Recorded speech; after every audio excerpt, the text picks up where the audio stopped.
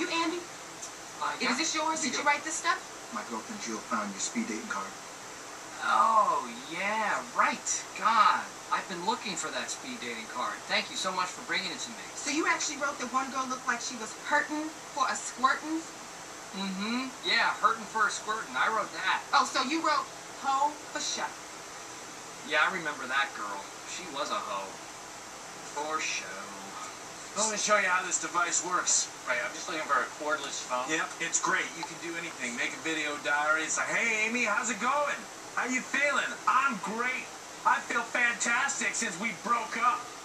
I feel awesome. Can you just show me the department where there would be phones? How, how have you been? What's been going on? Uh, I bet. Hey, have you been doing a lot of this? Oh sir, please, sir. You are never gonna meet anybody with that kind of mentality about women, you sick son of a bitch. Who the, who the fuck are you to put me on trial? I've never even met you. So why don't you back this shit off, all right? And stop with the Inquisition. That's how you talk? You know what? I don't have to answer to you. You ain't my bitch. Know what I'm saying? So shit, man. Fuck it.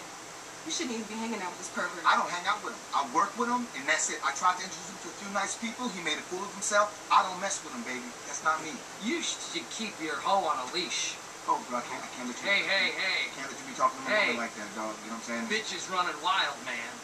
You missed that ass? That's the ass of a free man.